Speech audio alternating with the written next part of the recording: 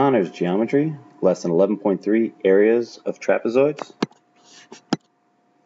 So this is another area theorem. We've done uh, squares and triangles. And uh, I generally let students try this one on their own because I think it's uh, a healthy exercise. So let's do this. Let's draw some random trapezoid. fix these two.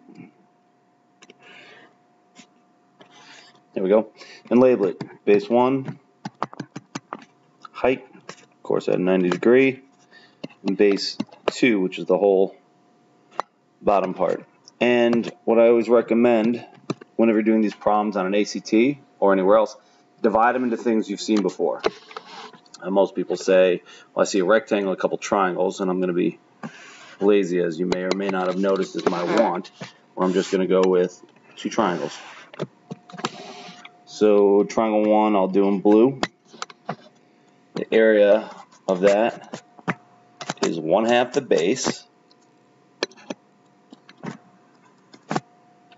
And the base is base 1 times the height. You might say, well, the height's out here. How did, yeah, think about it. If I move it over here, it's in the same spot. It's still a height. It'll still go from base 1 to base 2. And that's where the triangle goes from. So that's the area of that triangle. We could do the same thing for the other one. It's just this base, this height, and there's our triangle. So that's it. We're done. And I just add them together. Total area. Out of the way. 1 half base 1 times h plus 1 half base 2 times h. Area total, or actually I'll just call it area. Down here is 1 half height, because I can factor that out, base 1 plus base 2.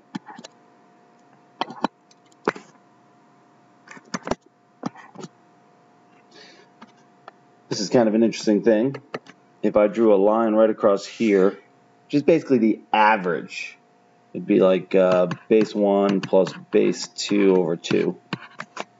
We call that the median or mid segment, if you recall. I had a little argument about that. Median, which is what they call it, and I like to call it the mid segment because it makes more sense when I compare it to the mid segment of a triangle.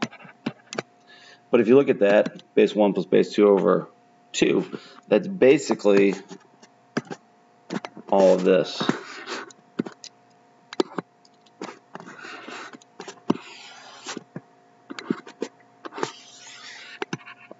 So a lot of times I'll add for that, ask that median mid segment.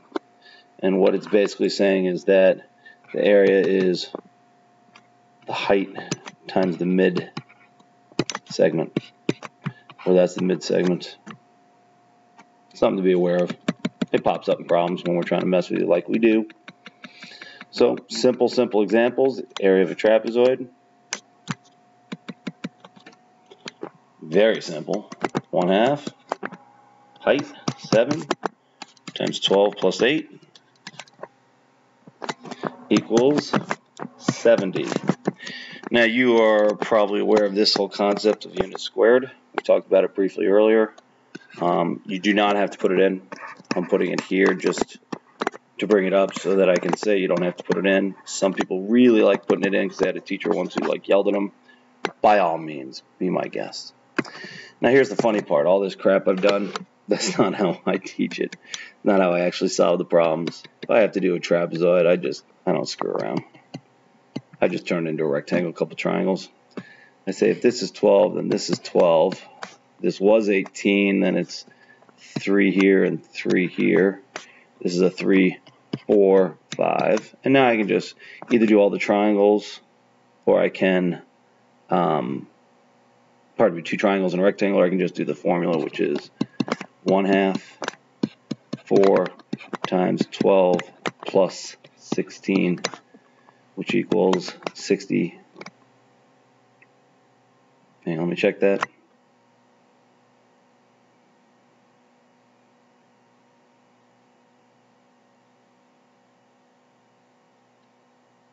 Still working on it. Because I couldn't read that. It says 18 there. Just wonder what I was doing. 18, 30, which is 60. And again, units squared. That's it. Happy mathing.